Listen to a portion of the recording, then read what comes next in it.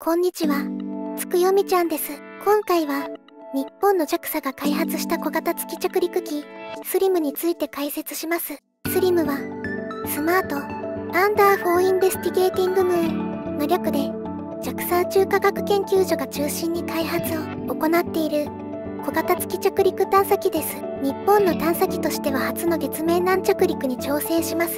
それも、ただ着陸するだけではありません。今回は、世界でも類を見ないユニークな着陸方法を計画している。スリムの素顔に迫ります。スリムは降りたいところに降りることを目標に精度 100M 以内のピンポイント着陸を行います。月面の写真を撮影し自身の位置を判断する。画像照合技術。とそこから目標地点への軌道修正を行う。自律誘導制御技術。という2つの新技術を利用してピンポイント着陸を可能とします。スリムは、あえて転倒することで傾いた月面や地形の厳しい場所へも着陸できるように考えられています。まず、1本の支脚が設置、その後支脚を軸にして倒れるように補助足が設置するという2段階着陸を行います。着陸場所は、約10度の傾斜のあるクレーターの周辺を想定しています。スリムの性能上はさらに傾斜のきつい月面にも着陸できるそうです。スリムのミッションは、着陸することに加えて月の起源に迫ることも含まれています。以前の探査機の観測結果から月の地下物質マントルが隕石衝突によって掘り起こされ露出しているクレーターが存在するということが分かりました。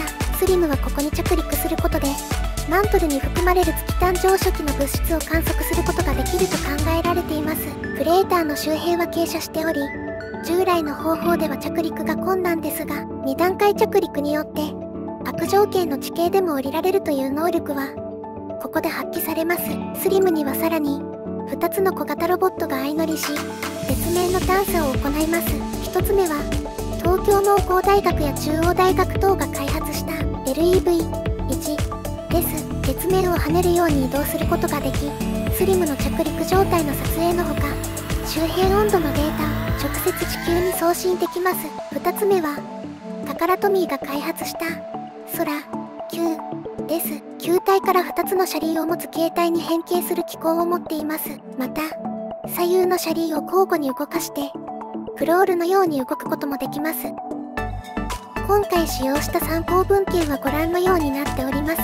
最後までご視聴いただき誠にありがとうございました。